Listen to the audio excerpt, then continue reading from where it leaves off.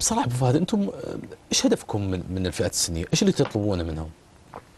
الفئات السنية إحنا كنادي آه، كبير آه، في فترات طويلة ما استفاد نادي النصر من خلينا نقول المواهب اللي عنده. آه، إحنا اهتمينا في نادي النصر إن نجيب من أفضل ال- الأكاديميات في أوروبا اللي هي أكاديمية بنفيكا وإنها تشرف على الفئات السنية كاملة. ونفس الشيء إحنا الفريق الأول في المملكة صرف على الفئات السنية. والناشئين الآن وصيف الدوري والشباب المتصدر في الدوري. فإحنا شغلنا جدا احترافي وشغلنا آه، نستفيد من ونبغى نستفيد من اللاعبين ال- الصغار سواء في نادي النصر أو إنك تبيعه وتستفيد من مبلغه.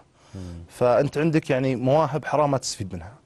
الفريق الأول أكيد إنه مهم لكن نفس الشيء الفئات السنية برضو مهمة ومهتمين فيها. واللي ماسكها أخوي آه، إبراهيم دغيثر ومؤدي أداء ما شاء الله تبارك الله يعني مميز وأشكر على الأداء هذا. جميل بس يعني أنتم قصدكم إنه الفئات السنية تحتاجون منها تفريغ للفريق الأول وبنفس الوقت راح تشترون أيضا لاعبين.